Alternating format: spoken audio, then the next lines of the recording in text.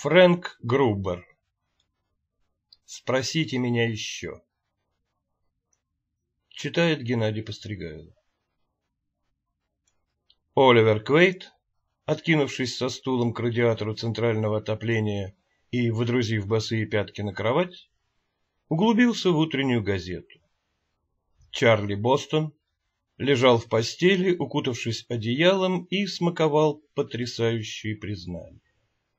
Словом, в жизни человека энциклопедии Оливера Квейда и его ближайшего друга и помощника это была обычная безмятежная передышка после завтрака. Но жизнь бесцеремонно вторглась на этот крохотный кусочек блаженной утопии. Жизнь в облике управляющего гостиницей «Орел», который настойчиво барабанил в хлипкую дверь номера. Квейт положил газету и вздохнул.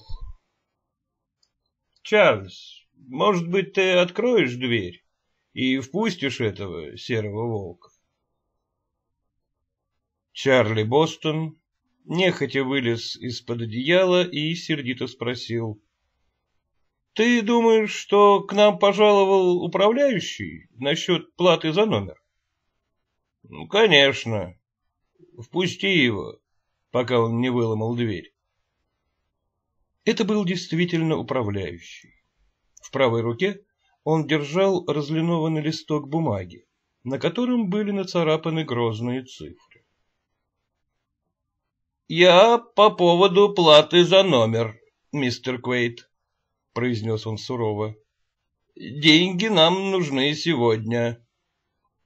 Квейт озадаченно посмотрел на управляющего. «Э, «Плата за номер. Деньги?» «Разумеется», — негодующе фыркнул управляющий. «На этой неделе я уже третий раз прихожу к вам за ними». Взгляд Квейда прояснился. Он сбросил ноги с кровати и опустил их на коврик одновременно с передними ножками стула. «Чарльз!» Раскаты его голоса потрясли комнату и заставили управляющего гостиницей вздрогнуть. — Ты что, забыл взять деньги из банка и оплатить этот несчастный счет? Чарли понял намек. — Эй, черт возьми, какая досада! Вчера по дороге в банк я встретил нашего старого приятеля, Джона Белмонта из Нью-Йорка. И он утащил меня в бар Палмер Хаус, поболтать за коктейлем. А когда я вырвался оттуда, банк уже был закрыт. Квейт с видом крайнего отчаяния всплеснул руками. «Ну вот видите, мистер Крайтон, на него ни в чем нельзя положиться. Теперь я должен в такую скверную погоду сам идти в банк за деньгами». В глазах управляющего вспыхнул недобрый огонек. Э, послушайте, ведь вы меня водите за нос, — начал было он, но Квейт стремительно перешел в наступление. Э, — Кстати, мистер Крайтон, у нас есть к вам претензии. В номере плохо топят. Кроме того, этот идиот из соседнего номера вчера до полуночи не давал нам спать своим радиоприемником. Позаботьтесь, пожалуйста, чтобы он сегодня утихомирился. И сделайте что-нибудь с отоплением. Я терпеть не могу жить в холодных номерах. Управляющий устало вздохнул. — Ну, хорошо, я позабочусь об этом. Но насчет платы... — Ну, разумеется, — прервал его Квейт. — Да, вот что. Ваша горничная оставила сегодня утром только два полотенца. Прошу вас проследить, чтобы нам прислали еще два, и немедленно. Управляющий ушел, хлопнув дверью. Оливер Квейт ухмыльнулся и снова взялся за газету, но Чарли Бостон не дал ему погрузиться в чтение. — Ты здорово отделался от него, Олли, — сказал он. — Но это в последний раз, можешь мне поверить готов держать пари, что нас выставят отсюда еще до вечера. Он грустно покачал головой. Подумать только, Оливер Квейт, величайшие мозги страны, сегодня вечером будет скитаться по улицам при пяти градусах выше нуля. — Вовсе нет, Чарли, — вздохнул Квейт. — Я как раз хотел сказать тебе, что сегодня у нас есть шанс подзаработать. Вот, почитай. Птицеводческая выставка в Большом Чикаго. Глаза Бостона на миг загорелись и снова погасли. — Ты думаешь, мы там сможем заработать столько, что нам хватит заплатить за гостиницу? Квейт натянул носки и обулся. — Там будет видно. В газете говорится, что продано двадцать тысяч входных билетов. Должно же среди такой уймы людей найтись хотя бы несколько желающих пополнить свои знания. — Ну, ты готов? Чарли направился к платяному шкафу, взял два пальто и тяжелый чемодан. Без малого две мили отделяли гостиницу от выставки, но денег на такси не было, и приятели отправились пешком. Когда они подошли к выставочному залу, Квейт предупредил Бостона. «Э, — Теперь не зевай, Чарли. Действуй так, как будто мы участники выставки. Куэйт открыл наружную дверь и бодро двинулся мимо окошечек билетной кассы к входу в зал. Человек в униформе, стоявший у двери, протянул руку за билетами. «Hello!» — приветливо воскликнул Квейт. «Как поживаете?» «Ничего, спасибо», — ответил билетер. «Ваши ребята уже прошли?» «Конечно. А мы задержались. Надо было тут кое-что прихватить. Бррр, холодно же сегодня. Ну, всего. И с этими словами Квейт проскользнул мимо билетера. «Привет, э, приятель», — буркнул Бостон, устремившись вслед за Квейдом. Высокий просторный зал был почти весь заставлен проволочными клетками нагроможденными в два этажа. В каждой клетке сидело по одному пернатому экспонату. «Ух ты, сколько жратвы!» — заметил Бостон. «Не произноси здесь этого слова. Птицеводы относятся к своим курам очень серьезно. Называй их прекрасными птицами, элегантными созданиями или еще как-нибудь в том же духе. Черт бы побрал этих газетчиков. А что? Квейт обвел рукой зал. Да написано, что на выставку раскуплено двадцать тысяч билетов. А сколько ты здесь видишь людей? Бостон огляделся. Если наберется полсотни, значит, я кое-кого посчитал дважды. Двинемся обратно? Куда? Держу пари, что управляющий сменил замок в двери, как только мы ушли из гостиницы. Ну и как теперь быть? Я примусь за дело. Квейт пробрался по узкому проходу к дальнему концу выставки, отыскал местечко, по недосмотру у строителей, оставшееся свободным, соорудил из куриных клеток трибуну и начал говорить. Человек-энциклопедия обладал поистине изумительным голосом. Те, кому доводилось его слышать, всегда поражались, откуда мог взяться у такого тощего человека голос потрясающей силы. «Я Оливер Квейт, человек-энциклопедия», — гремел он. «Самый сведущий человек в стране. Я знаю ответы на все вопросы. Что было в начале, яйцо или курица? любую историческую дату с древнейших времен, численность населения всех городов Америки. Я знаю, как выводить мышей на птицефермах, как кормить кур, чтобы они лучше неслись. Все, все, что есть под солнцем, в любой области, в истории и в естественных науках, в сельском хозяйстве и в математике. Люди, рассеянные по залу, начали собираться к трибуне Квейда. Пусть меня кто-нибудь спросит. Дайте мне доказать, что я человек-энциклопедия, знающий ответы на все вопросы.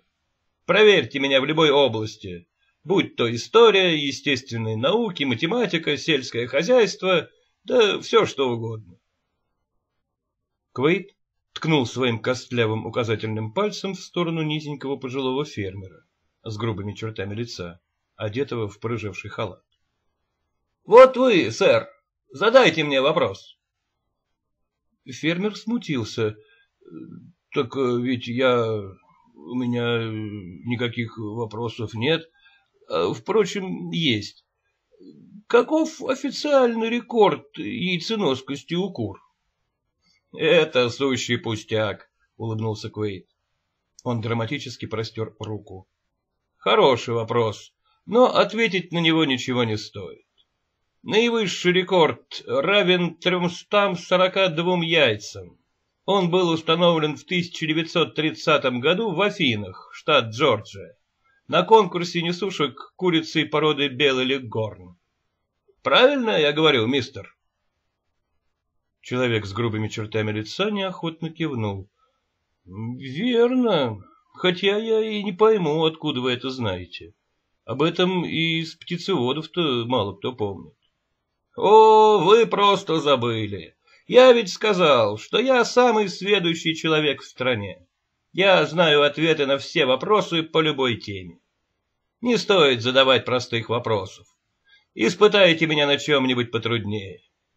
Вот вы, он ткнул пальцем в тощего сумрачного мужчину. Спросите меня о чем-нибудь. Мужчина задумался, закусив губу. Потом сказал, «Ну-ка скажите, у какого штата самая длинная береговая линия?» Квейт улыбнулся. «А, вот это вопрос, что надо. Но вы меня не проведете. Большинство бы назвало Флориду или Калифорнию. Но правильный ответ — Мичиган.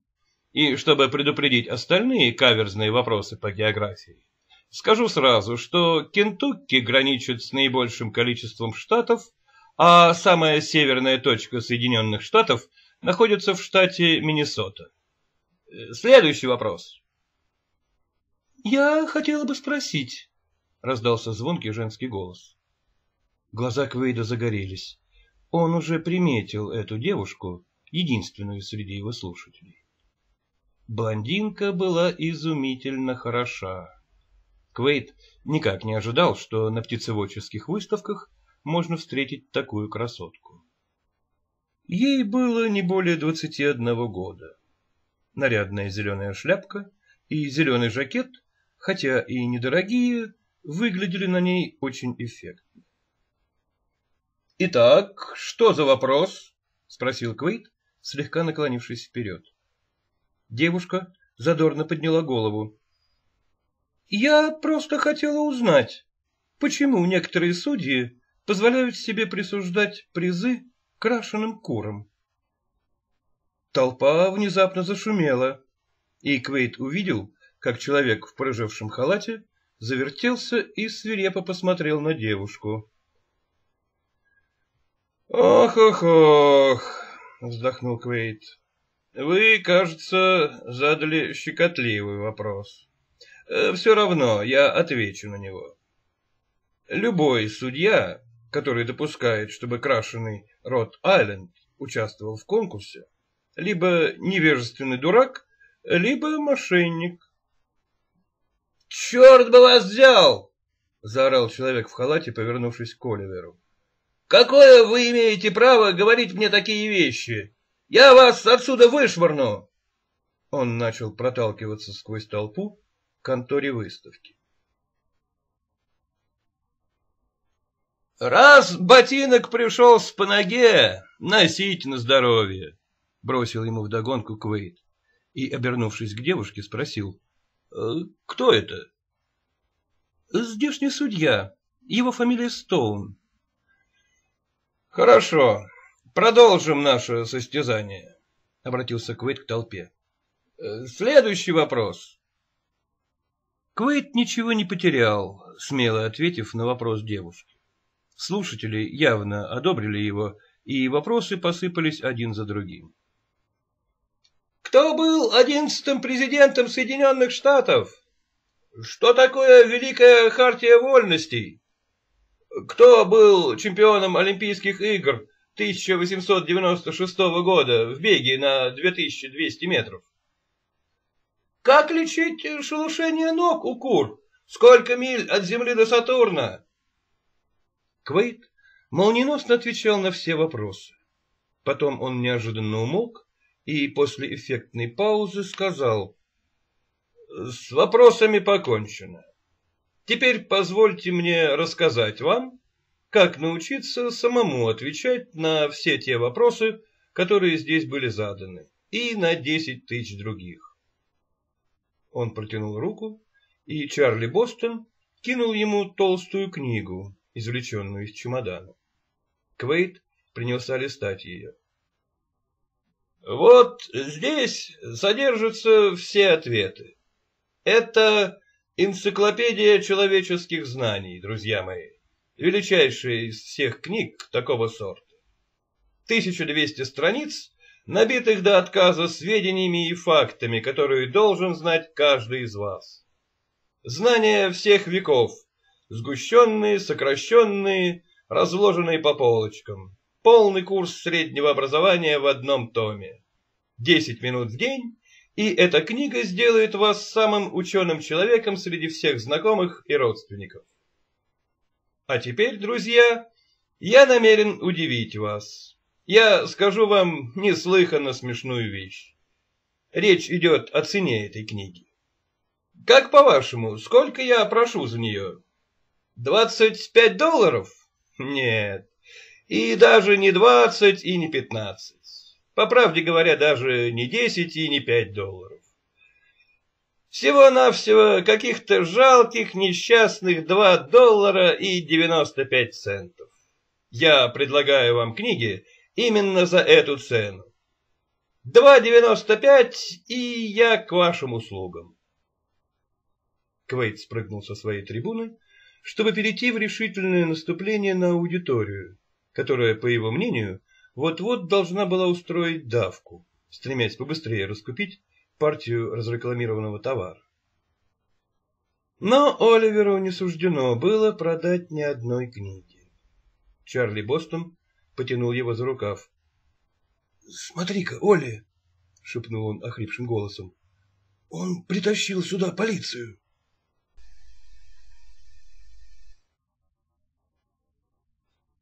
Квейт пристал на цыпочки, взглянул поверх клеток с курами и даже застонал от злости. Во главе процессии полисменов шествовал коротышка в прыжелом халате. Положи книги обратно, Чарли. Квейт прислонился к клетке с курицей и, покорившись судьбе, стал ждать ареста. Но полисмены шли не за ним. Дойдя до центрального прохода, человек в халате повернул налево. Слушатели Квейда тоже увидели полицейских. Двое или трое выбрались из толпы и устремились за ними. Они положили начало массовому бегству, и через несколько секунд Чарли Бостон с Квейдом оказались одни. «Наверное, что-то стряслось», — заметил Квейд. «Интересно, в чем там дело?» «Ну, судя по такой ораве полисменов, не иначе, как убийство», — невозмутимо ответил Бостон. Едва только слово «убийство» сорвалось с губ Чарли, как тут же приятели услышали его в другом конце зала. — И в самом деле кого-то убили, — вздохнул Квейт. — В таком случае нам здесь не место, — изрек Бостон. — Давай-ка отсюда убираться. Он подхватил чемодан с книгами и двинулся. Но Квейт удержал его. — Нет смысла. У выхода стоит полисмен. Нам придется торчать здесь. — Ты черт бы побрал этих кур! — взвыл Бостон. — В ту самую минуту, когда ты сказал о них в гостинице, у меня появилось недоброе предчувствие. Готов держать пари на ломаный грош, которого у меня нет. Что мы здорово влипли. Может быть, Чарли. Но если я хоть сколько-нибудь знаю полицию, сейчас начнутся бесконечные допросы, и мне сдается, что нам легче будет выкарабкаться отсюда, если мы не будем держаться слишком далеко от места действия. Пойдем туда и посмотрим. Квейт пошел к противоположной стороне зала. Продолжая ворчать, Бостон нехотя двинулся за ним. Толпа сгрудилась перед большим отделанным красным деревом ящиком, гигантским инкубатором. Дверь установки была открыта.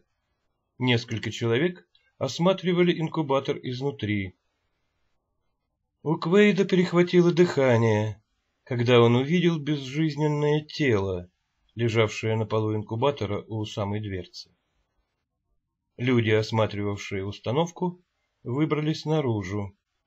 Густобровый человек в пальто из верблюжьей шерсти и гамбургской шляпе направился к девушке в зеленой шляпке.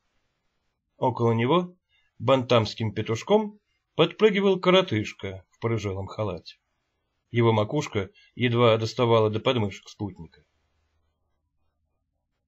«Насколько я в курсе дела, вы ссорились с ним вчера», — задал Верзила вопрос девушке. «Из-за чего?» Девушка выпрямилась во весь свой небольшой рост.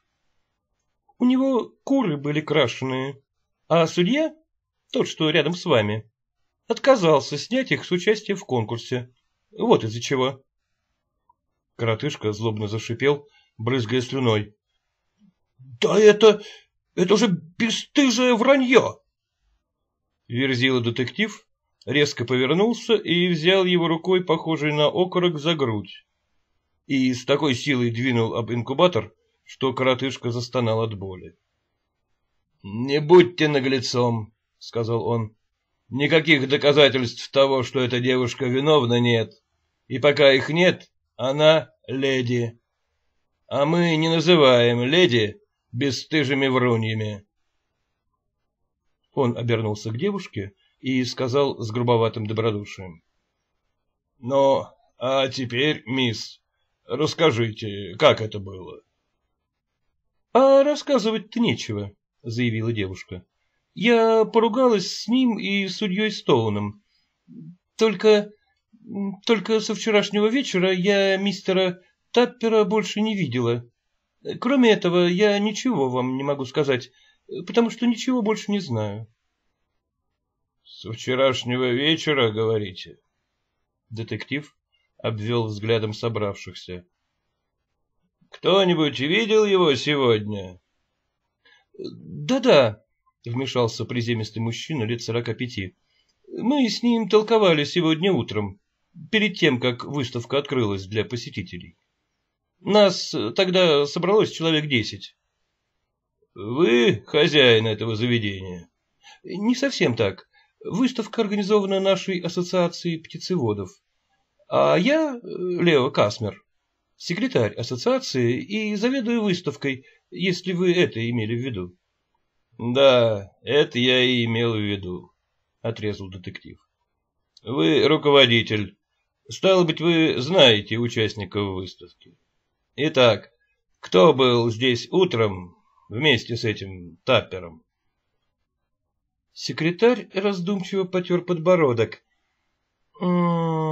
«Здесь был я, судья Стоун, Ральф Конвей, он разводит кур породы Виандот, потом судья Уэлхаймер и несколько здешних рабочих. — А мисс Мартин она была здесь? Она пришла сюда до официального открытия выставки, но когда я в последний раз видел Таппера, ее поблизости не было. Кто здесь Уэлхаймер и Конвей? Из толпы вышел высокий седоволосый человек. Моя фамилия Конвей. А где судья? Длинноногий мужчина с выпеченной нижней губой протиснулся сквозь толпу. «Я судья Уайхаммер». «Хорошо.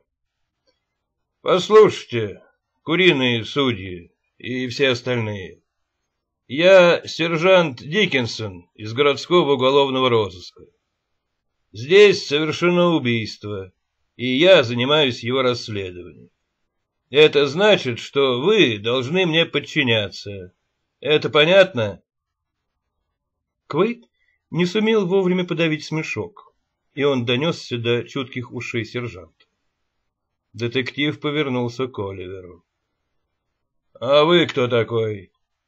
— Я Оливер Квейт, человек-энциклопедия, — бойко ответил Оливер. — Я знаю ответы на все вопросы. Сержант Диккенсон перекосился от злости. — Ты что, шутить надо мной вздумал? А ну-ка, подойди поближе. Я хочу тебя получше разглядеть. Квейт не двинулся с места. «Э, «Там, понимаете, труп, а я как-то не люблю слишком близко подходить к мертвецам». Сержант шагнул было по направлению к Оливеру, но тут же взял себя в руки и попытался сделать вид, что его не задело такое явное неповиновение. Однако лицо его залила краской ярости. Я еще займусь тобой, приятель. Он резко повернулся к секретарю. Кто обнаружил труп? Касмер показал на одутловатого парня лет тридцати. Тот вымученно улыбнулся. Я малость запоздал, и как только пришел, принялся приводить в порядок свое хозяйство. Потом я увидел, что кто-то воткнул этот длинный крюк в замок. Я не думал ничего такого и открыл дверь, а он лежит там на полу, мертвый. — Вы работаете в фирме, которая делает эти инкубаторы? — спросил сержант. Парень утвердительно кивнул. — Я занимаюсь их продажей и обслуживаю выставку. Это лучший инкубатор, какой только можно сейчас найти. — им пользуются все самые известные специалисты по разведению породистых кур и инкубаторные станции. — Умеете рекламировать свой товар, — пробурчал детектив. — Только я ведь не собираюсь покупать инкубатор. Вернемся-ка лучше к вашему рассказу. Почему вы решили, что этот человек убит? — А что еще могло произойти?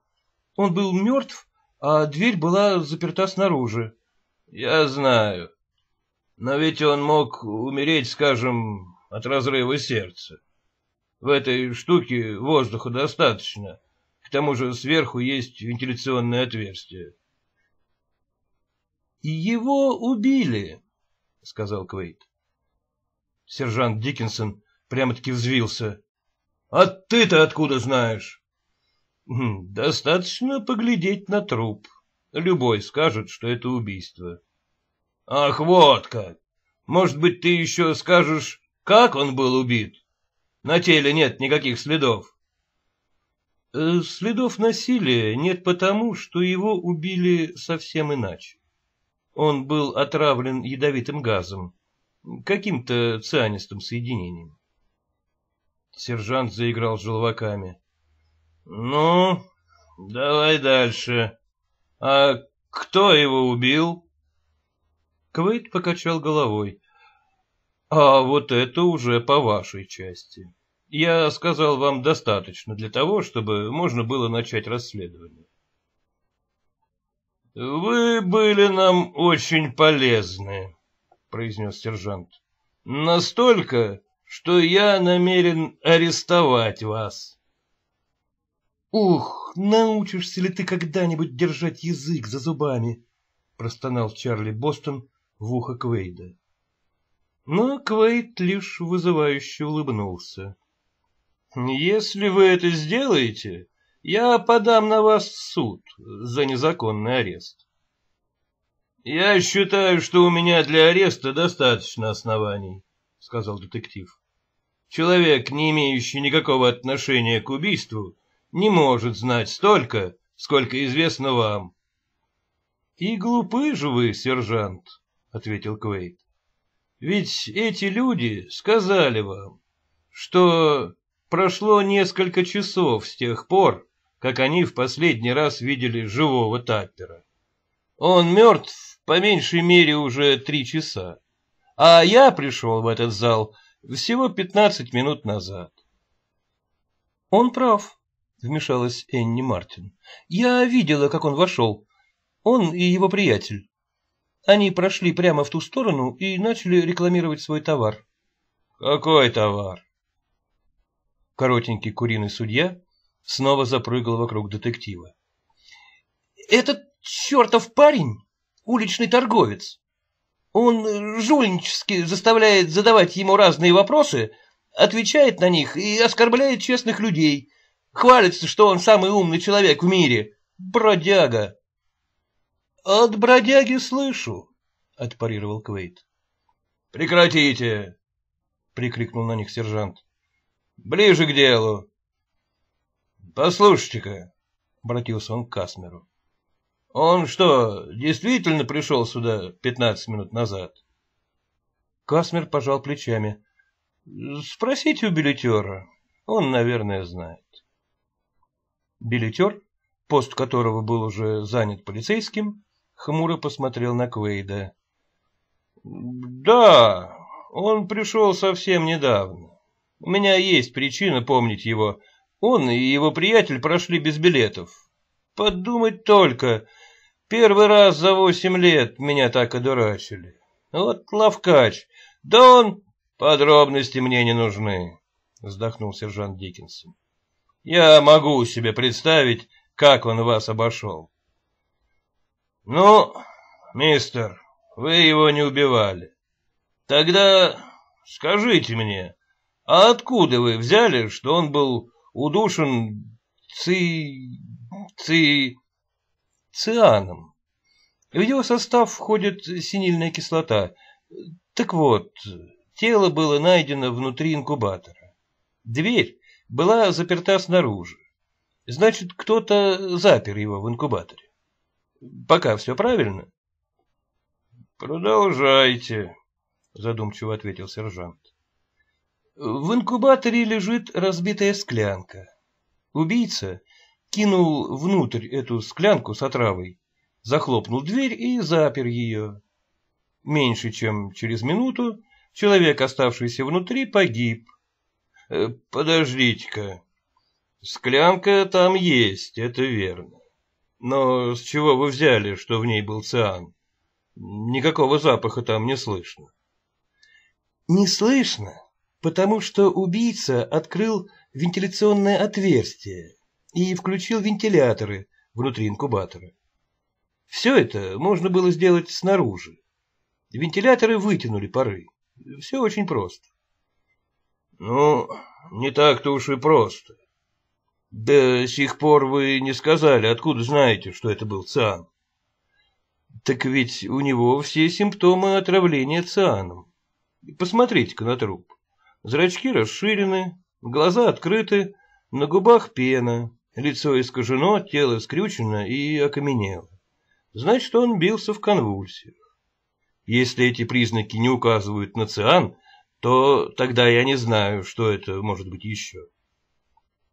«Мистер», — сказал детектив, — «как вы говорили, кто вы такой?» Оливер Квейт, человек-энциклопедия, я знаю все. Хм, я начинаю в это верить. Ну, хорошо. А кто же все-таки его убил? Ну, это уж нечестно. Я сказал вам, как убили человека, а искать, кто убил, это уж ваше дело. Ладно. Только скажите мне еще одну вещь. Если этот ваш циан содержит синильную кислоту, значит, он смертельный яд. Значит, так просто его купить нельзя. Верно, если иметь в виду городских покупателей. Но на основе циана делают разные инсектициды. Я не думаю, чтобы в склянке был чистый циан. Скорее всего, это была смесь, которой травят крыс на птицефермах. А ее может купить любой птицевод. — А вот идет помощник следователя, — объявил Диккенсон.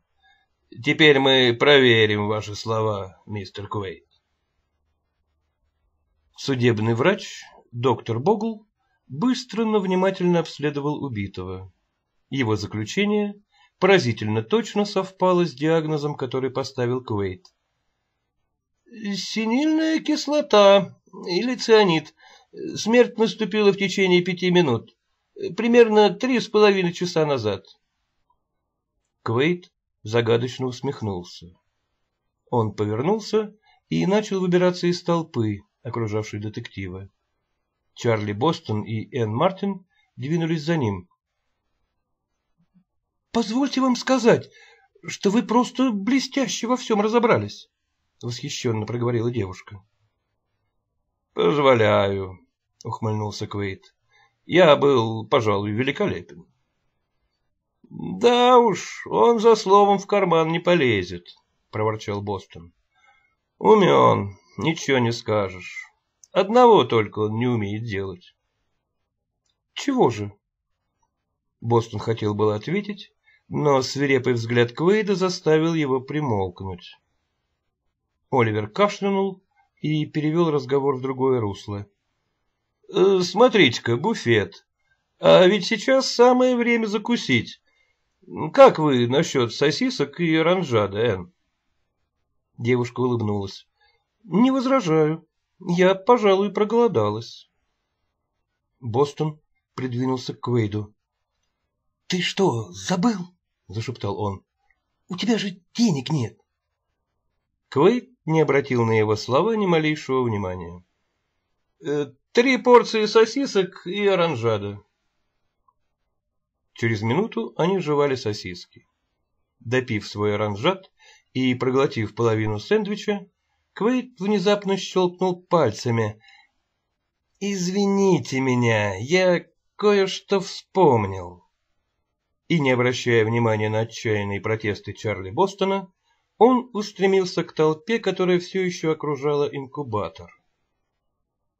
Аппетит у Бостона бесследно пропал.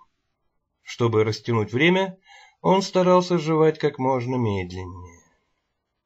Энн, быстро управившись со своим сэндвичем, улыбнулась ему.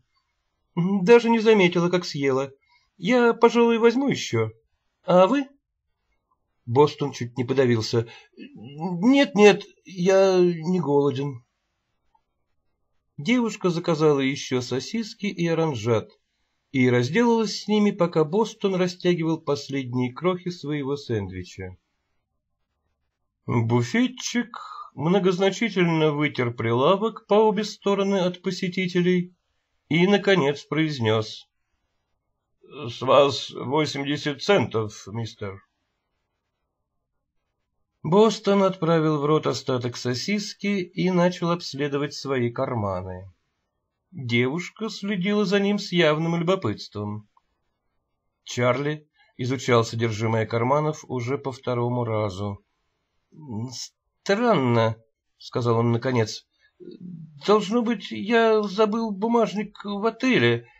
Квейт, разрешите я заплачу? — сказала девушка, щелкнув застежкой кошелька. Лицо Чарли сделалось свекольно-красным. Был бы на его месте Квейт, уж он-то не растерялся бы.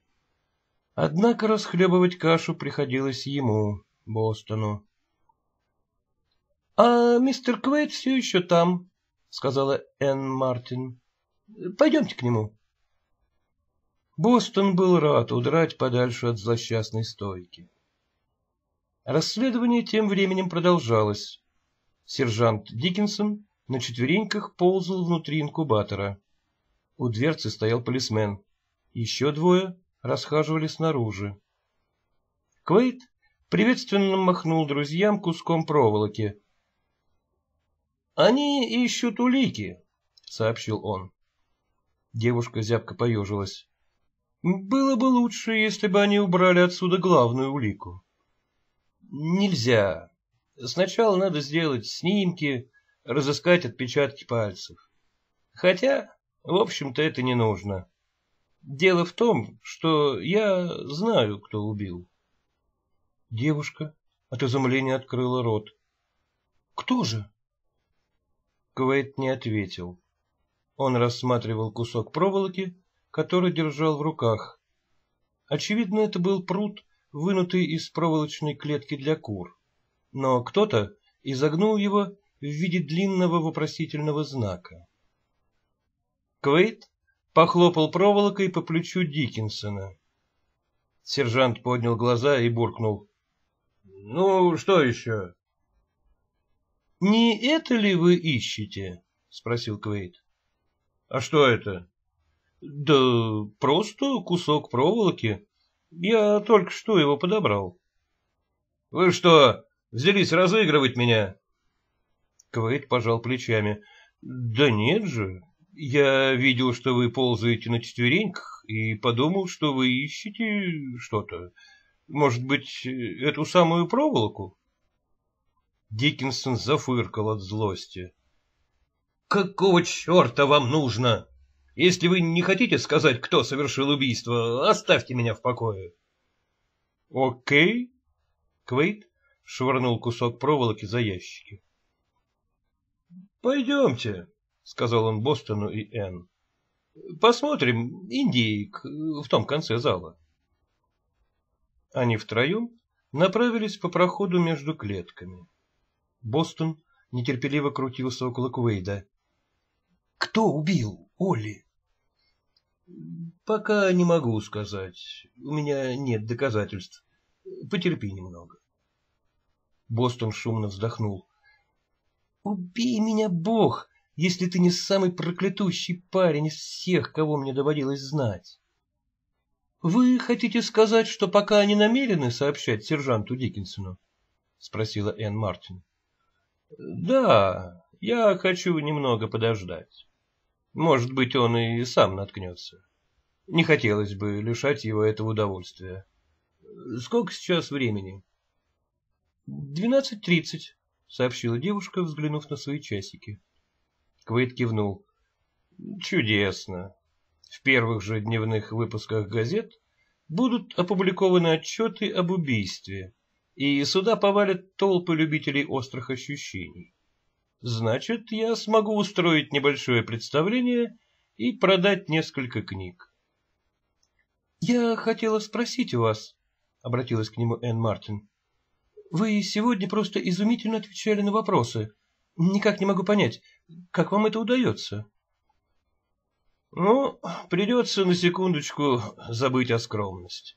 Мне это удается потому, что я действительно знаю ответы на все. На все? Ну, конечно. Видите ли, я четыре раза прочитал всю энциклопедию от корки до корки. Эн взглянул на него с изумлением. Всю энциклопедию? Двадцать четыре тома. Ну, давайте вернемся. Чарли, гляди в оба. Посмотрев вперед, Бостон ахнул. Полицейские, прибывшие с доктором Боглом, выносили тело убитого человека. Раздосадованный сержант Диккенсон собирал свою команду и явно намеревался покинуть выставку. — Уж не уходите ли вы, капитан Диккенсон? — спросил Квейт. — Какой смысл мне тут болтаться? — огрызнулся сержант. — Тут у каждого есть заранее заготовленное алиби. Квейт досадливо мотнул головой. — Я сказал вам, как было совершено убийство. — Сказал? — Ну да. Только тут было больше дюжины разных типов и любой из них мог проделать все это незаметно для всех остальных. Нет, вы ошибаетесь. Это мог сделать только один человек. Квейт не спеша шагнул к клетке для кур, взялся за железный пруд и внезапным движением вырвал его. Потом он подошел к инкубатору. «Посмотрите на этот вентиляционный люк», — сказал он. «Заметьте, что я свободно достаю до него. Впрочем, так же, как и вы, лейтенант. У нас рост примерно одинаковый — пять футов десять дюймов. Но человек ростом в пять футов два дюйма не достанет до него, даже если приподнимется на цыпочках. Понятно? «Продолжайте», — сказал сержант Диккенсон. Квейт изогнул пруток в длинный вопросительный знак. «Пододвинуть сюда ящик или стул и взобраться на него значит привлечь к себе внимание», — продолжал он. «Поэтому убийца, чтобы открыть люк вентилятора, воспользовался куском проволоки. Примерно так. Квейт подцепил крючком крышку люка и без труда открыл его. «Да, а мне это-то как раз и было нужно», — сказал сержант. «А ведь вы чуть не силой навязывали мне эту проволоку». «А, итак, судья Стоун, вы арестованы». «Он врет!» — заорал петушиный судья. Он же сам только что выдрал эту проволоку из клетки. — Это верно, — сказал Квейт. — Но вы видели, как я поднял тот, ваш кусок проволоки. И когда я его выбросил, после того, как попытался заинтересовать им сержанта, вы подобрали его и спрятали. — Вы этого не видели? — Нет, не видел. Я намеренно ушел, чтобы дать вам возможность отделаться от проволоки. Но я подстроил вам ловушку. Пока проволока была у меня, я вымазал ее чернилами. Посмотрите-ка на свои руки, Стоун. Судья Стоун повернул ладони вверх. Пальцы правой руки были испачканы черными чернилами.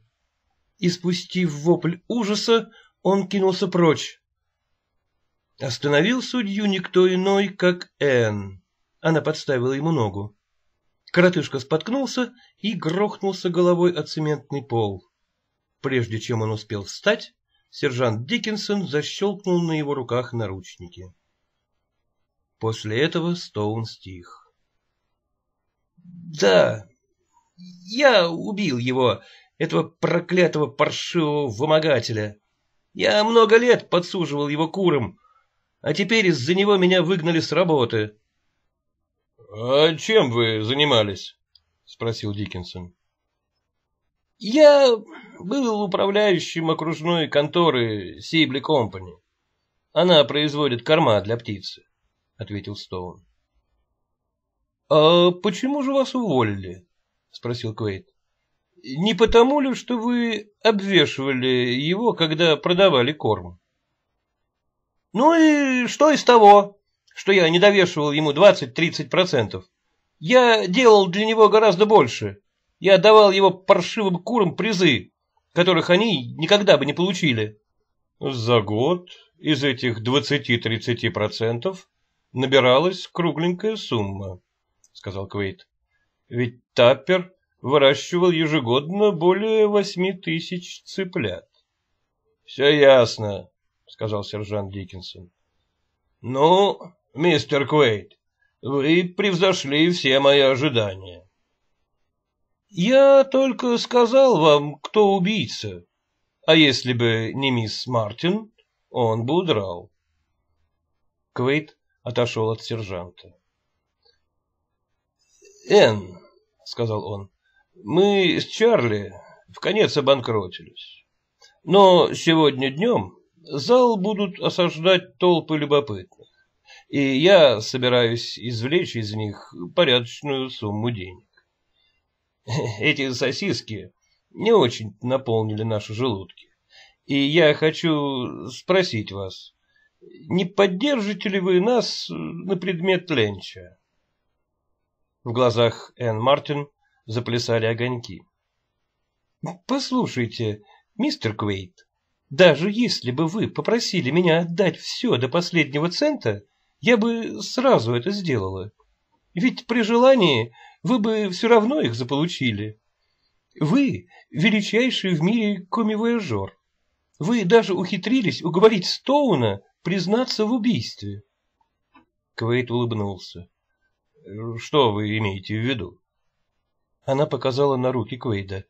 — Ведь вы тоже держали тот проволочный крючок. Как же получилось, что ваши руки остались чистыми? Квейт хмыкнул. — А вы сообразительная девушка. Даже сержант этого не заметил. Ну, ладно, покаюсь. Я увидел, что руки судьи Стоуна вымазаны в чернилах, и еще тогда, когда отвечал на вопросы. У него, наверное, течет авторучка. — Так, значит, вы совсем не пачкали тот пруд? — Нет, но я знал, что он убийца, и он знал это. Только он не знал, что у него руки выпачканы. Поэтому девушка глубоко вздохнула. Оливер Квейт, ленч за мной. Ну, а за мной ужин и кино вечером. Улыбнулся человек-энциклопедия.